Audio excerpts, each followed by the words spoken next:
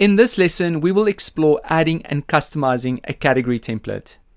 In the previous lesson, we learned all about the various templates available, and we mentioned that the All Archives template is the default template WordPress uses to display smaller groupings of posts, such as categories, tags, authors, dates, etc. Please note I am using the 2024 default theme.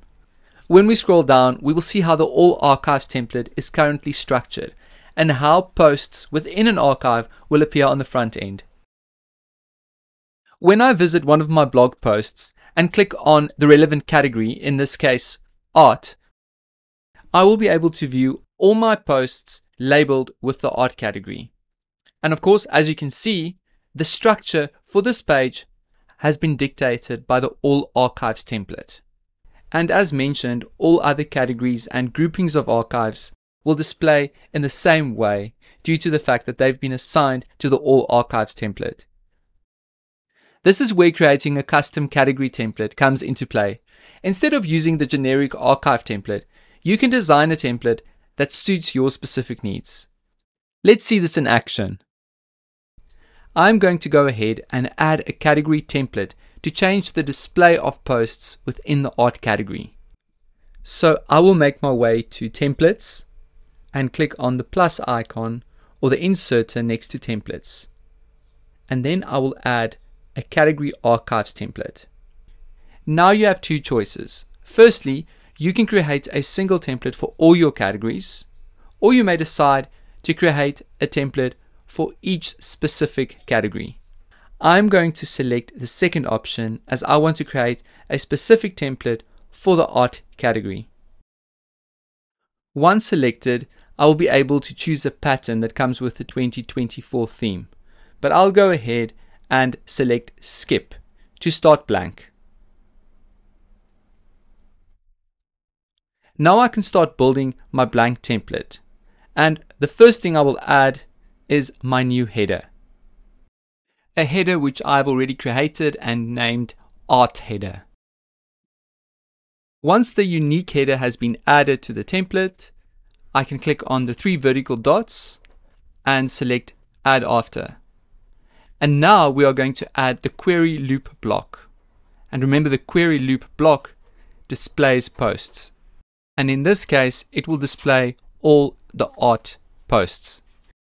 Now we can go ahead and select a pattern for how we want the posts to display.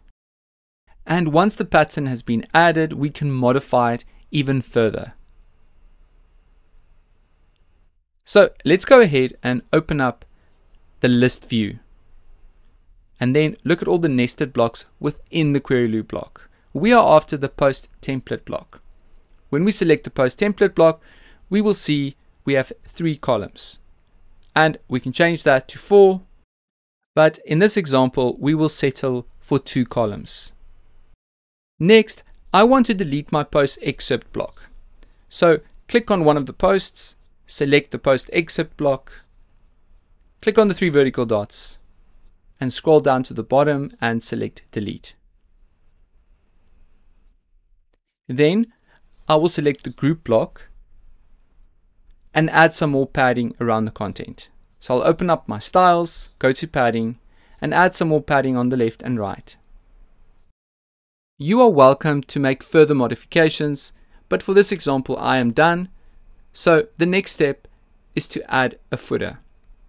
And I am just going to add the general footer that I've used on my other templates as well.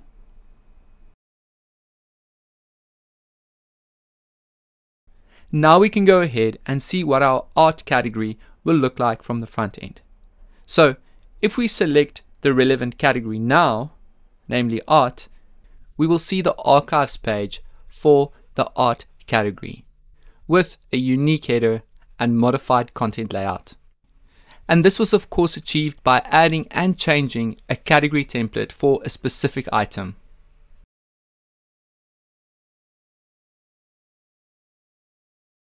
And if you wanted to go ahead and create a new template for a different category, you can click on the plus icon next to templates, select category archives, and then a category for a specific item and then I can create a unique template for my lifestyle category or for my sports category, for example. I trust you now feel comfortable adding a category template for all categories or a specific category.